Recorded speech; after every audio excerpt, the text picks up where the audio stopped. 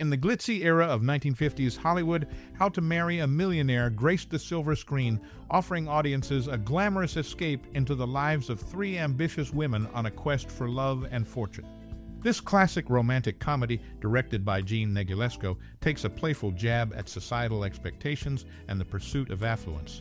Starring the iconic trio of Marilyn Monroe, Betty Grable, and Lauren Bacall, the film not only showcases their individual charm, but also explores the timeless theme of love versus practicality. As you revisit this cinematic gem, consider the roles played by these leading ladies. Which character resonated with you the most? Was it Monroe's endearing yet naive Pola, Grable's pragmatic but hopeful Loco, or Bacall's sophisticated and rational Schatze? Each portrayal adds a unique layer to the narrative, leaving viewers with a delightful conundrum of personalities. Now, we invite you to share your cherished memories and personal experiences associated with How to Marry a Millionaire. Do you have a favorite scene or a special connection to the storyline? We'd love to hear your stories and thoughts in the comments below. Immerse yourself in the allure of vintage Hollywood and let the nostalgia of How to Marry a Millionaire bring back fond memories. Share your insights and join the conversation your cinematic tales await. How to Marry a Millionaire, a 1953 film directed by Jean Negulesco, is a classic romantic comedy that follows three ambitious women in New York City played by Marilyn Monroe, Betty Grable, and Lauren Bacall they devise a plan to snag wealthy husbands. The trio rents a lavish penthouse to attract eligible bachelors, leading to a series of humorous misadventures and romantic entanglements. The film's witty dialogue and the chemistry among the main cast contribute to its enduring appeal. The characters navigate love and finance in a lighthearted manner, showcasing the social dynamics of the era. Despite its straightforward premise, the film is notable for its satirical take on societal expectations surrounding marriage and wealth. How to Marry a Millionaire remains a classic in the romantic comedy genre, influencing subsequent films and contributing to the cultural conversation around relationships and aspirations. Its enduring popularity is a testament to the timeless charm of its narrative and performances, making it a must watch for fans of classic Hollywood cinema. Pola, played by Marilyn Monroe, made an iconic statement in the red swimsuit scene. You know, of course, that diamonds are a girl's best friend. Interestingly, Monroe later performed Diamonds Are a Girl's Best Friend in Gentlemen Prefer Blondes, released the same year as How to Marry a Millionaire. Working with Marilyn Monroe presented challenges, according to Lauren Bacall. Despite Monroe's insecurity and dependence on her acting coach Natasha Lytess for approval, Bacall acknowledged Monroe's lack of malice. The actress, while fearful and often late, focused on herself during scenes, making each take an uncertainty. Beyond the backstage dynamics, the film's financial success was notable. In 1953, it ranked as the fifth highest grossing Hollywood production. This success is a testament to the enduring popularity of How to Marry a Millionaire and its impact on the cinematic landscape in How to Marry a Millionaire, released in the early days of Cinemascope, the age dynamics between characters might surprise you.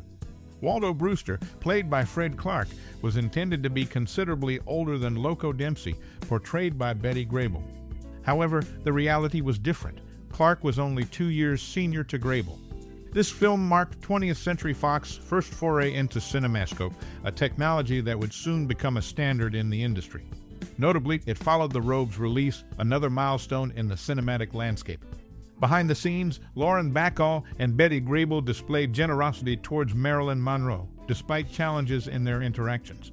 Nunnally Johnson, taking notice, acknowledged the efforts of the two Bettys to befriend Monroe.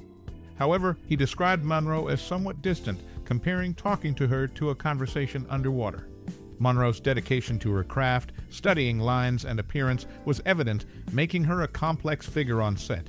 These behind the scenes dynamics, coupled with the film's technical achievements and the unexpected age dynamics on screen, add layers to the narrative of how to marry a millionaire, creating an intriguing blend of on set experiences and on screen illusions. Marilyn Monroe, already a star from Gentlemen Prefer Blondes, found a friend in Betty Grable on the set of How to Marry a Millionaire. Grable's encouraging words, honey, I've had mine. Go get yours, reflect the camaraderie behind the scenes.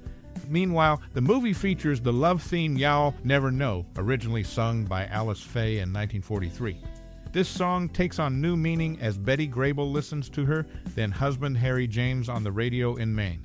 Interestingly, it becomes a significant element in Grable's on screen romance with Rory Calhoun. In a technical milestone, How to Marry a Millionaire stands out as one of the first films with a stereo recorded score. This innovation adds a layer of richness to the cinematic experience, contributing to the movie's unique place in film history.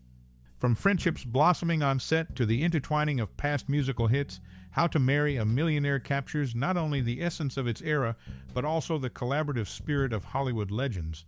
These off screen dynamics, combined with technical advancements, enhance the film's legacy in the world of classic cinema.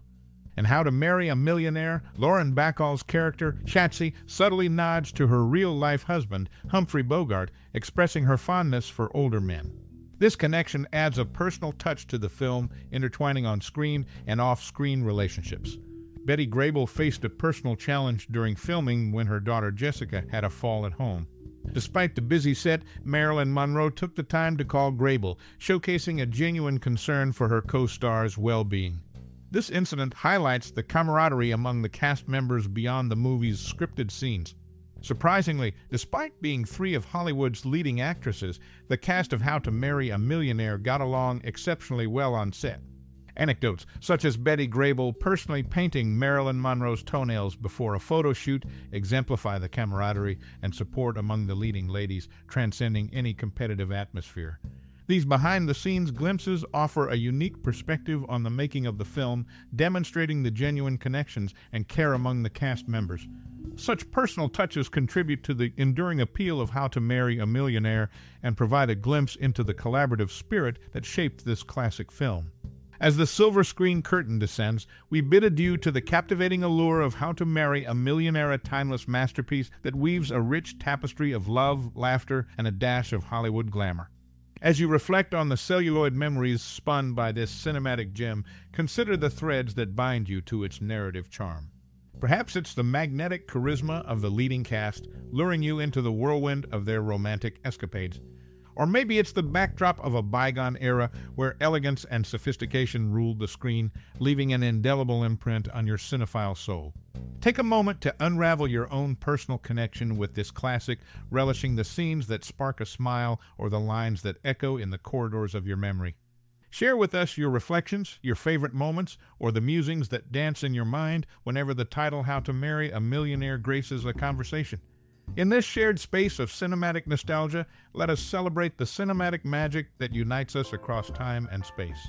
Your thoughts are the stars that illuminate this communal sky of admiration for a movie that has transcended generations. Thank you for indulging in this cinematic reverie with us. Your time and reflections are the jewels in the crown of our shared appreciation for the silver screen classics. Until we meet again on the reel of another captivating story, keep the magic of how to marry a millionaire alive in your heart. Cinematically yours,